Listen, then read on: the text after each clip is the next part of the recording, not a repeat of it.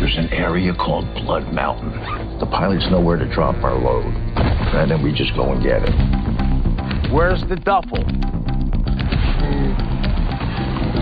No, no, no, no, don't eat that, don't eat that. Let's see what kind of effect that has on him. The bear. It did cocaine.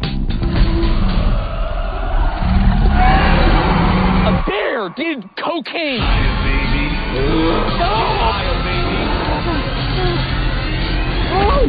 Can someone do something? What is that? Beth, we should go. Freedom! What's wrong with that bear? Don't ever come down. We have such good luck in nature.